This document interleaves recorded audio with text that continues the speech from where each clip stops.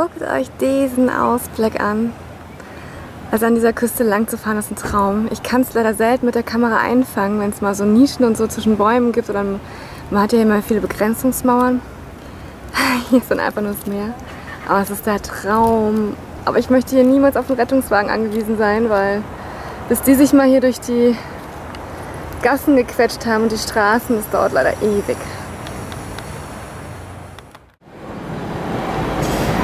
Da unten sieht es so toll aus vom Schwimmen. Ich weiß gar nicht, sieht man das durch die Kamera, was da für ein tolles, klares Wasser ist und die Steine darunter?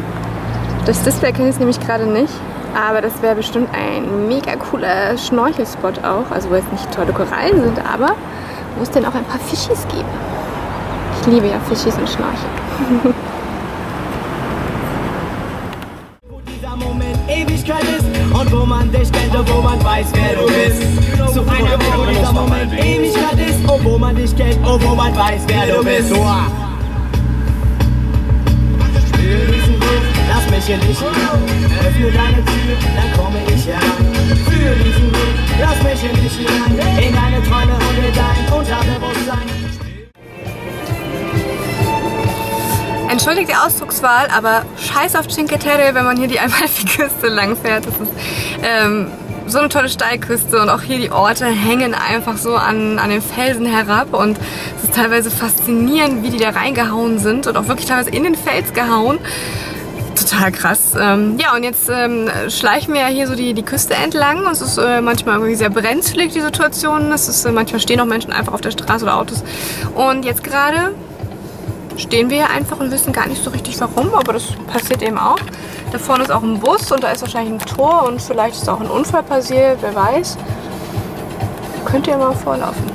Ist auf jeden Fall echt äh, ein Erlebnis, an dieser Küste vorbeizufahren und äh, wenn ihr ein Boot habt, ne, ich würde sofort zur Amalfi-Küste fahren. Hier sind richtig viele Boote unterwegs, weil die Küste, das muss beeindruckend sein, auch vom Boot aus. Es sieht einfach unglaublich fantastisch schön aus.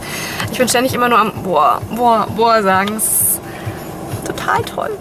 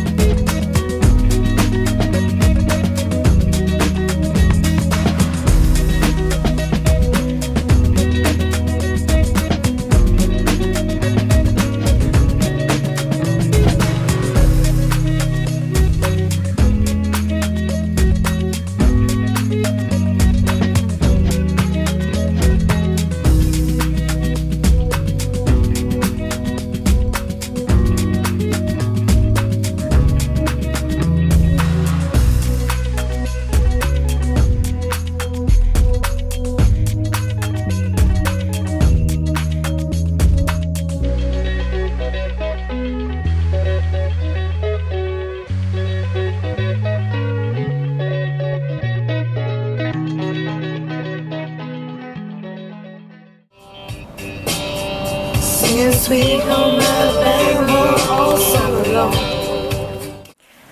Also viele, viele, viele Kilometer und einige Stunden später sind wir in Termoli an der anderen Küste angekommen und es sind hier direkt mal ein paar Grad mehr. Ähm, wir hatten ja noch nicht genug mit den 30 Grad und es ist keine schöne Stadt, in der wir jetzt gerade sind, das ist aber nicht so schlimm. Wir wollen hier eh nur eine Nacht bleiben und suchen uns heute Abend dann etwas raus, wo wir dann auch mal ein paar Tage länger bleiben können, wo es einen schönen Strand gibt oder irgend sowas, wo wir uns einfach erholen können.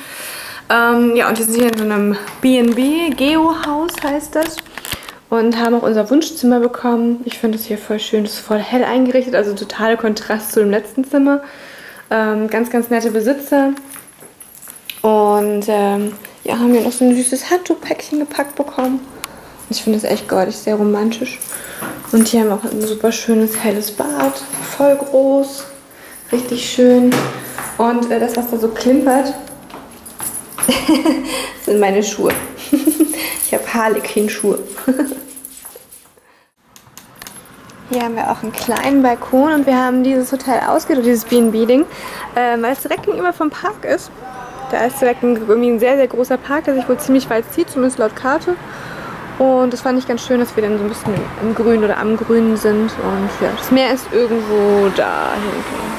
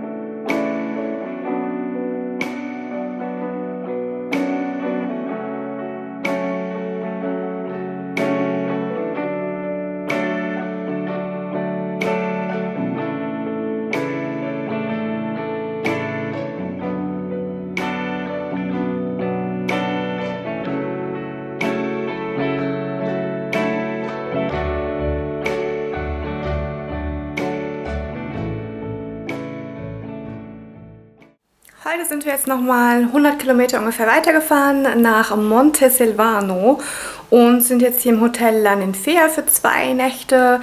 Ein bisschen noch jetzt den Strand genießen. Ja, und wir haben jetzt fast noch anderthalb Wochen Urlaub übrig, so knapp und haben eigentlich nur noch Rimini und Venedig so vor uns, weil die Küste hier einfach viel kürzer ist jetzt der Abschnitt und von daher werden wir wahrscheinlich in Rimini dann tatsächlich mal ein paar Tage sein. Ich weiß, das sage ich jetzt schon seit längerem, aber irgendwann haben wir halt noch ein paar Tage übrig und ich werde schon wieder nachgeäfft.